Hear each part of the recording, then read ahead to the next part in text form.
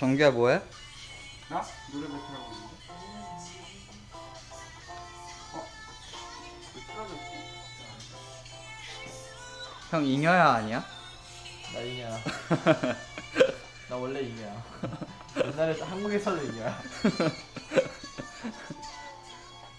정규 넌 잉여야? 어 너를 너무 잘 불러 어떡해?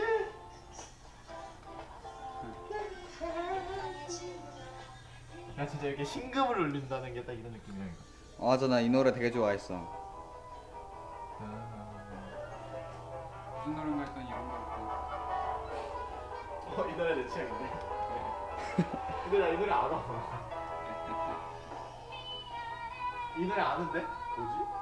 자우림골 알아, 그건 알아. 나 이 노래 제목도 아는데. 카니발 어머 아 맞아 아닌데 그거 부제 아니야? 제목 따로 있어. 와 우린 기숙사에 있어. 화장실 one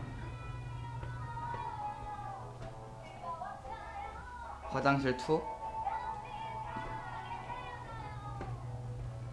그리고 들어온 내 방.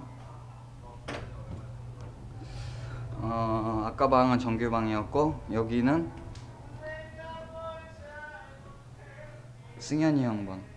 승현이 형은 하- 하루에 관- 감자칩을 하나씩 먹지. 그리고 여기는 거실. 여기는 부엌.